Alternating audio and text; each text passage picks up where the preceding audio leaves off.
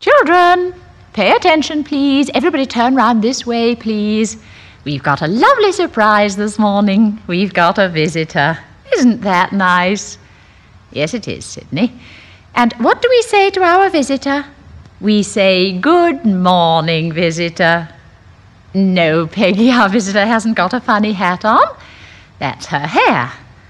I'm so sorry, Mrs. Hingle. I'm afraid we are a trifle outspoken sometimes.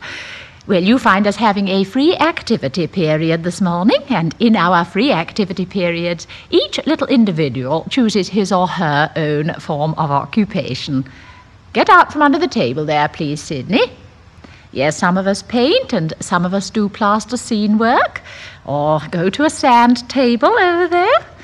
We feel that each little individual has got to get to the bottom of himself and learn what he wants of life. Who is making that buzzing noise? Well, stop it, please, Neville. Hazel, dear, come away from the door and get something to do. I do love to see them all so happily occupied, each little one expressing his own personality.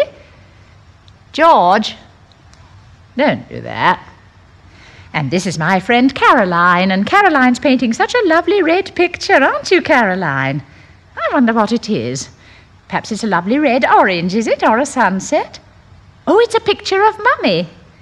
Oh, for a moment I thought it was an orange, but now that you tell me, I can see it's Mummy. Um, aren't you going to give her any news? No?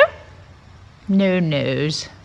I think it's so interesting the way they see things, don't you? Sidney, stop blowing at Edgar and get something to do.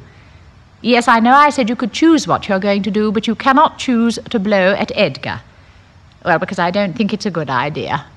Well, because I, I'm not going to discuss it with you, Sidney. Now go over there and join Susan at her sand table. Yes, there is room, Sue. There's heaps of room. Just move up. Susan, we never bite our friends. Now say you're sorry to Sidney. No, you needn't kiss him. No, you needn't hug him. Susan, put him down. Sidney, uh, uh I'm afraid some of our egos are a little on the big side today, Mrs. Hingle. Hazel, dear, I don't want to have to tell you again. Please come away from that door. Why can't you? Well, you shouldn't put your finger in a keyhole and then it wouldn't get stuck in there, would it?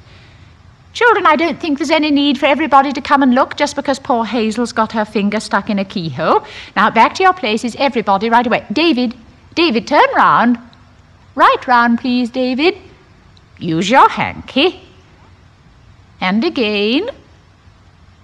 And again. And wipe. Thank you, David. Now then, Hazel, why did you put your finger in a keyhole? To see if it would go in. Well, let's see if we can get it out, shall we? Oh, it is stuck in, isn't it? No, Sidney, I don't think Hazel's finger is stuck in the keyhole for ever and ever. And I don't suppose for a moment we shall have to get the fire brigade to come along and take the door down so that we can get poor Hazel's finger out. You do exaggerate, Sidney, don't you? Well, if we don't get her finger out by dinner time, she'll have to have her dinner here, won't she? And her tea and her supper and stay the night. But we're going to get it out, aren't we, Hazel? That's right. But who is making that buzzing noise?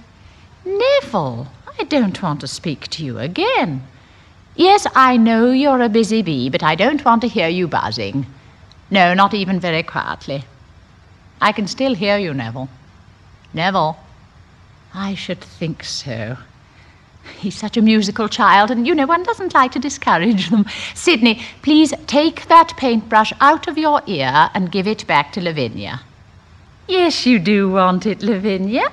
Yes, you do. You love painting. Yes, you do. Yes, dear, you do. You love painting. George!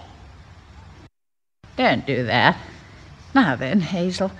Dear, it is stuck, isn't it? You know, Mrs. Hingle, this child's finger is really stuck in the keyhole. Well, I think the fire brigade are the best in an emergency, don't you? Yes, I have. I've got a telephone in my office. Would you? Oh, I am grateful. Thank you so much. Well, I'll just tell the children. Uh, children, I want everybody to be very grown up and very sensible. We're going to see if we can get one of those nice firemen along to help us to get Hazel's finger out of the key.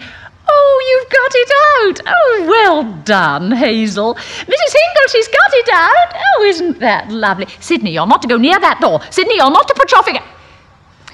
Sidney. I spoke too soon, Mrs. Hingle. Oh, Sidney.